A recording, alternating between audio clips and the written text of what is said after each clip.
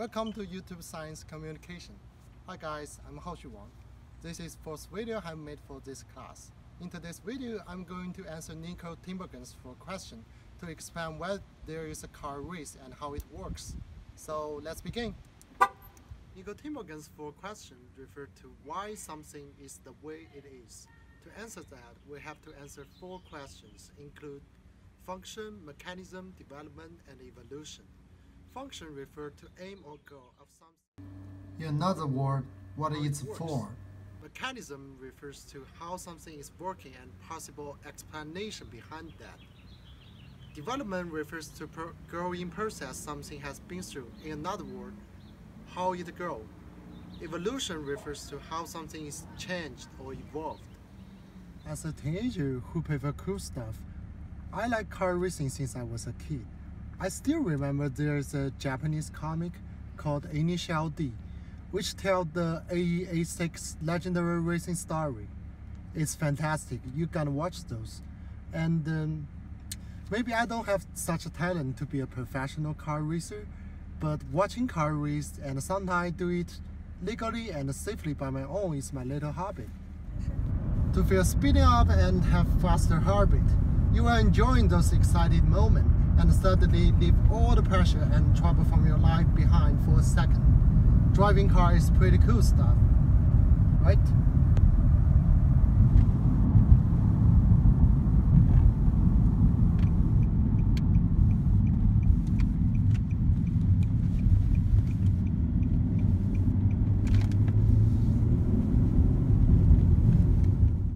after the very slow and lonely race with myself. Let's try to answer Tinbergen's four questions about car race. Firstly, function of car race. Car race was aimed at proving new machines for practical mode of transport in the past.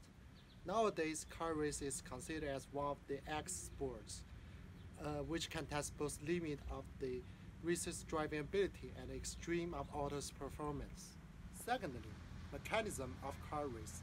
A race car must have high requirement about aerodynamics, suspension, tires, brakes, and engine. A driver who experienced years of training and have license is supposed to control the race car to keep speeding up as fast as they could and use time duration to judge who is the fastest winner. Thirdly, development of car race. Car race as the sport is first recorded as early as 1867. It used to only test the machine's performance before. However, after many people illegally race cars for fun or money, the whole society soon found out this is the problem. The solution is provided by automakers that they take car race as an important way to competing makers to demonstrate their machine and set up official match, match with prize for racers together. By the 1930s, specialist racing cars had, had developed. More and more people begin to enjoy watch car race as a sport instead of just a machine test. Finally, evolution. After very rapid development of car race, automakers soon realized simple regular mode of car cannot satisfy both racers and audience.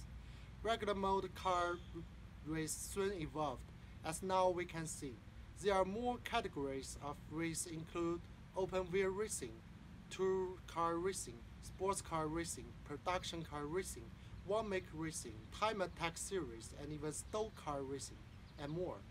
Both cars and rules of distinctive car racing are totally different from each other now. Till now, after answer to four questions, I can say car race is a very valuable and highly developed and evolved sport with long history. It has adaptive value for both individual and society.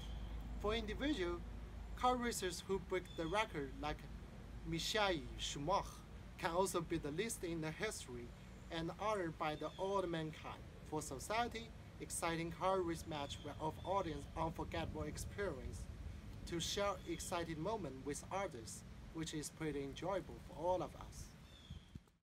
Thanks for watching. This video is part of a class called YouTube Science Communication, where we learn about history of life on Earth and make educational videos about it.